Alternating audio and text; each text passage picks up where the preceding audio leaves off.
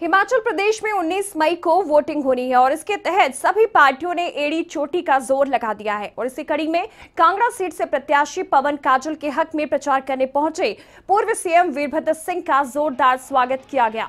इस मौके पर सुधीर शर्मा, कुलदीप पठानिया और कुलदीप राठौर भी मौजूद रहे। जो कि पवन काजल के प्रचार में जुटे हुए हैं। साथ ही भारी संख्या में लोग मौजूद रहे।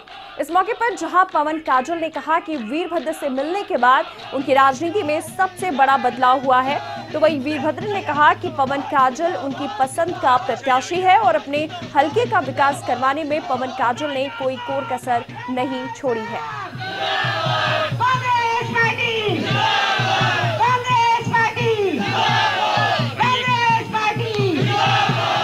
बता दें 19 मई को हिमाचल में चुनाव होने को है और जिस जिसके चलते देखा जाए तो दिग्गज कमान संभालते हुए नज़र आ रहे हैं।